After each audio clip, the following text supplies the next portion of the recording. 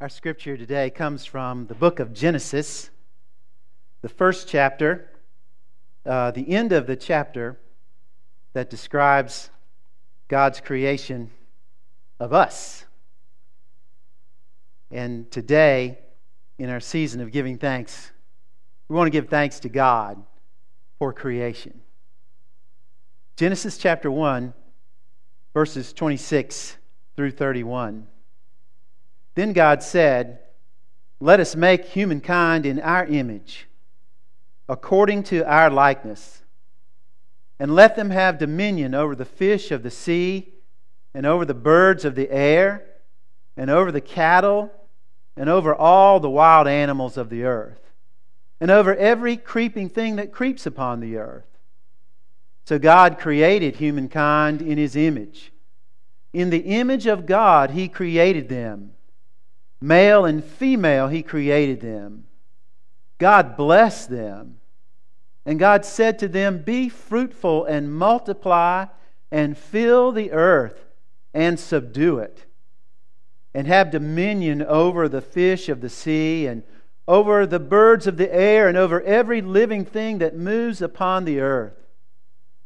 God said, See, I have given you every plant yielding seed that is upon the face of all the earth, and every tree with seed in its fruit. You shall have them for food. And to every beast of the earth, and to every bird of the air, and to everything that creeps on the earth, everything that has the breath of life, I have given every green plant for food. And it was so. And God saw everything that He had made, and indeed, it was very good. As many of you may know, I teach at Campbell University. But before I started teaching at Campbell, my wife Beth and I taught at Mars Hill University near Asheville. About three weeks before we were to move away from Mars Hill, we were invited to a party.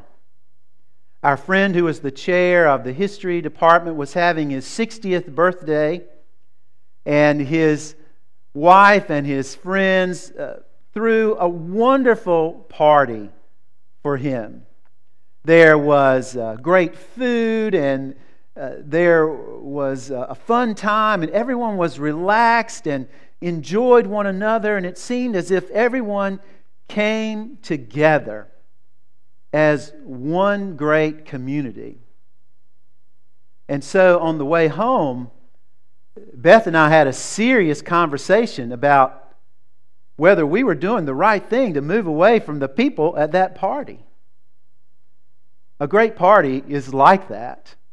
You feel so connected, you don't want it ever to end.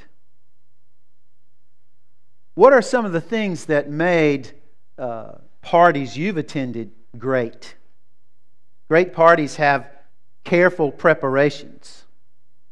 So that rules out those parties that happen when you get a text that says, Jimmy's parents are out of town, uh, party at Jimmy's house tonight. No preparations. Great parties have a theme. Decorations are chosen carefully. There's great food, of course, and plenty for everyone. And uh, often there's entertainment, maybe music, a band, activities. But the most important part of any party is the people who are there. And everyone knows that they are welcome. And they've been invited specially to be there. And all that they need for that time has been taken care of. A great party is really a gift from the host to the people at the party. And it's an opportunity to relax and to feel welcomed and to celebrate and just to enjoy the generosity of the host.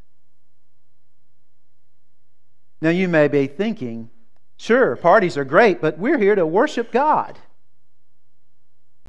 Well, have you ever noticed how many parties are in the Bible? In the book of Deuteronomy, in chapter 26, the Israelites were instructed to bring an offering of all the first fruits of their produce. And they were to dedicate the offering to God, and then they were to celebrate a great feast and to share it with those who did not have land to grow food of their own. Deuteronomy 26:11 says, "Then you together with the Levites and the aliens who reside among you shall celebrate with all the bounty that the Lord your God has given you." The prophet Isaiah in chapter 25 describes the full coming of the kingdom of God and says it will be like a tremendous feast. In chapter 25, verse 5, the prophet says, Then you'll gather all the people together on this mountain, and there'll be a rich feast of of wonderful food and of rich, fine wines. The kingdom of God will be like a party. Jesus, during his earthly ministry, was really accused by some of going to too many parties. They said he was a, a wine bibber and a glutton, that he, that he had too much fun.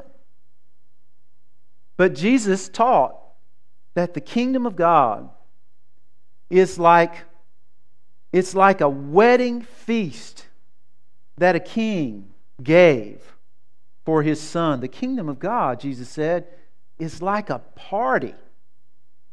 And if you're invited, you want to be at that party.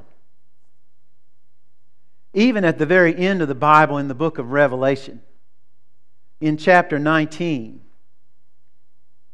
we hear about what it will be like when God's work in creation is finally done. It'll be like a, like a feast, like a supper, like a marriage feast, celebrating the marriage between Christ and his church. This month, we're celebrating together a season of giving thanks and today we're focusing on giving thanks for creation. What do you think about when you think about creation? I'd like to suggest that God's gift of creation is actually like a great party. Think about it. A great party has great preparations. In Genesis 1, we read about God's preparation for creation. Creation is a wonderful unfolding of God's plan. First, God separated light from darkness and created time. Then, God set out the big framework of creation. God separated the sky above from the earth below and the land from the waters. And before any creature was created, God made a place for those creatures to live. Creation is, is orderly, it's stable.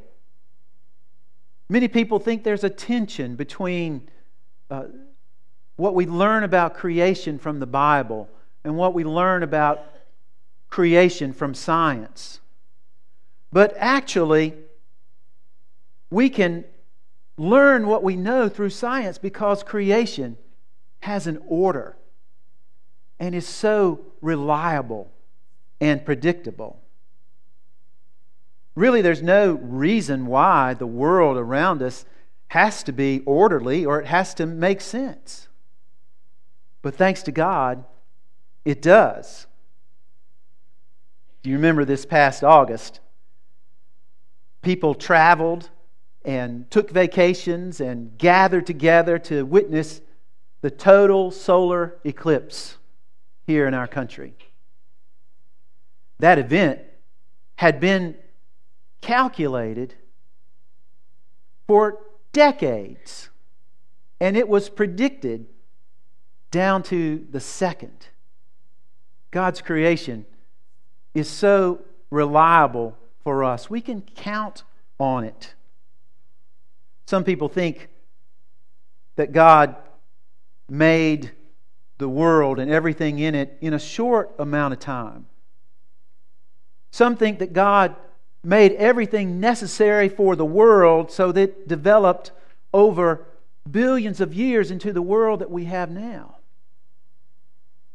But science tells us about the when and the how of creation, but the Bible tells us about the who and the why. Creation is God's gift, and it reflects to us the goodness of God. A great party has preparations, a great party also has decorations. Can you think of any greater decorations than what we see in God's world around us? We have the sun and the moon and stars, billions of stars. God is an extravagant decorator. Not only all of that, but there are the oceans and the mountains, uh, the rivers and the lakes, the canyons, rainforests, glaciers. Maybe you're a beach loving person, and I get that. There are a few things in life that the smell of salt air can't make better, right? Or maybe you're a mountain loving person. That uh, some elevation lifts up your spirits and makes your load a little lighter. Whatever part of creation uh, moves you and inspires you, there are more causes for our wonder and our thanksgiving than we could ever have time to name as a well known children's hymn says, all things bright and beautiful, all creatures great and small, all things wise and wonderful, the Lord God made them all. A great party has great food too, right? And think about everything in creation that we enjoy the book of Genesis makes clear that God provided food for God's creatures.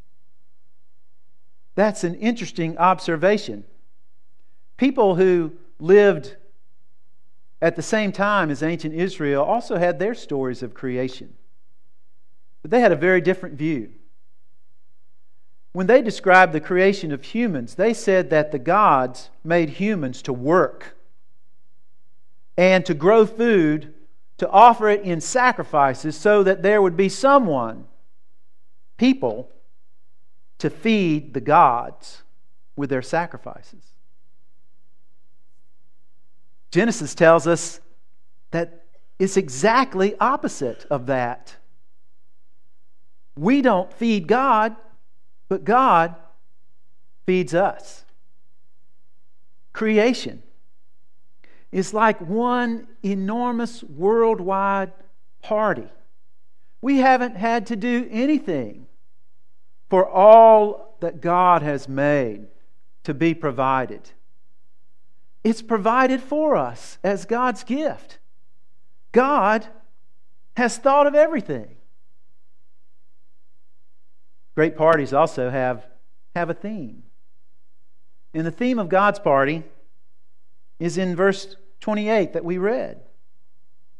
God blessed them, and God said to them, Be fruitful and multiply, and fill the earth and subdue it. The theme of God's party of creation is blessing. Blessing is the power of God to live and to enjoy the life that God gave us and to share that life with one another. Creation is God's gift to each one of us. And we are invited to enjoy it and to share it. What should our response be to the goodness of creation? Well, we should do we do whenever we're invited to any party.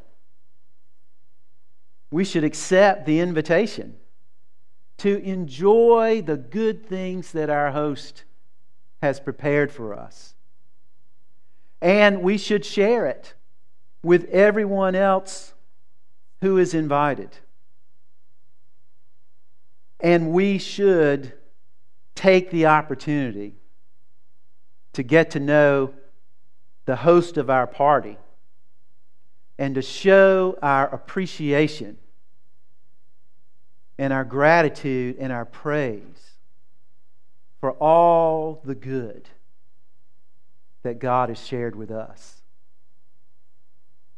But you may be thinking, if creation is a party, something's gone wrong. My life is not a party. Well, I, we know from life and, and from the movies that parties sometimes go wrong, don't they? In preparation for today, I looked up, uh, I did a search of the 10 most popular movie parties.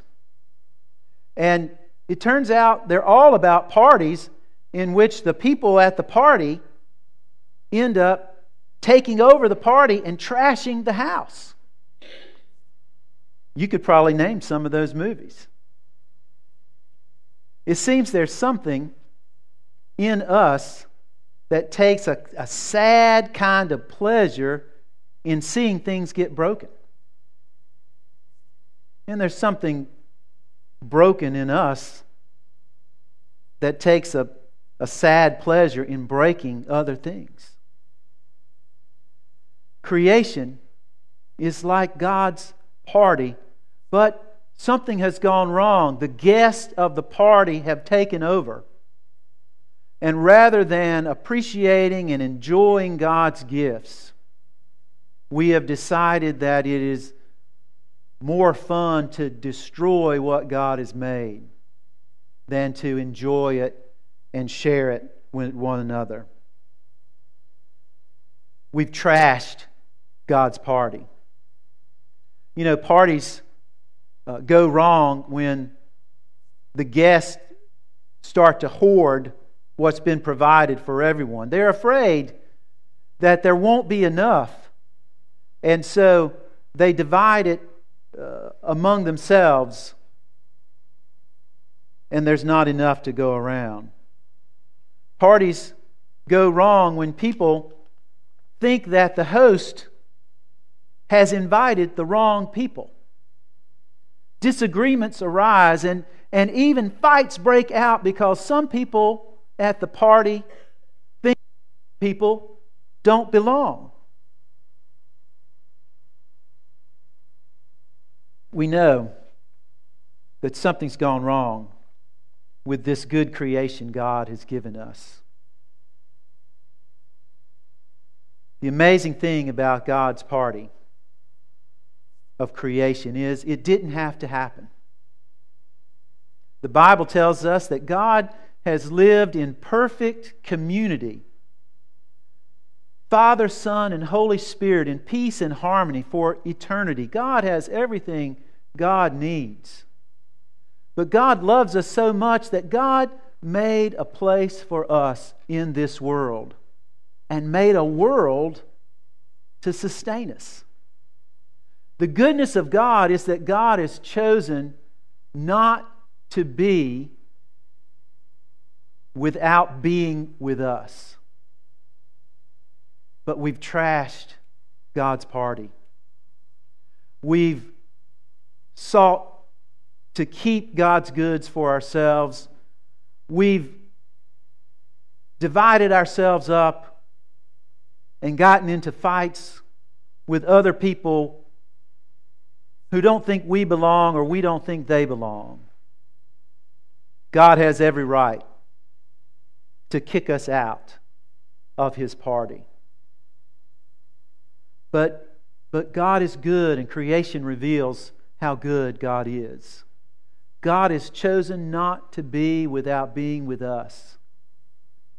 And so God chose in Jesus Christ to be God with us in a new and saving way.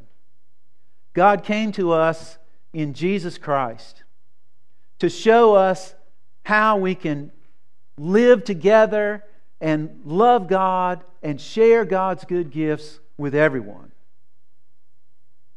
And Jesus came to repair the damage that we have done to God's good creation, even to pay the price in His own body and with His own life for what we have done to destroy God's party. Through what Jesus has accomplished, God is at work to keep the party going for us and to help us to share God's good creation with other people. What is our part in what God is doing? As followers of Jesus, we can learn from Jesus how to live in this good creation as a part of God's party. From Jesus, we can learn to appreciate the goodness of the creation and to let that goodness draw us closer to God. As Jesus' followers, we can learn to trust that God has enough for us, that we can share what we have with others because we worship a God of abundance. As followers of Jesus, we can learn, like Jesus, to share the love of our Father with all the people that God has brought to this party. The Bible says Jesus was a friend of sinners. And in Romans 15, Paul instructed us welcome one another just as Christ has welcomed you to the glory of God. As followers of Jesus, we're also a part of the creation God is doing. In Ephesians chapter 2, verse 10, we read that we are saved by grace through faith, and that is a part of our salvation we are God's handiwork. God is still creating in us. God is creating a good work, a masterpiece in you as a part of God's good creation. We can give thanks for what God is doing in our life. And maybe the best part is we can share the invitation to God's party with other people and tell them the good news of all that God has provided for us and all that is that God has done for us through Jesus Christ. All things bright and beautiful, all creatures great and small all things wise and wonderful, the Lord God made them all. He gave us eyes to see them and lips that we might tell how great is God Almighty, who has made all things well.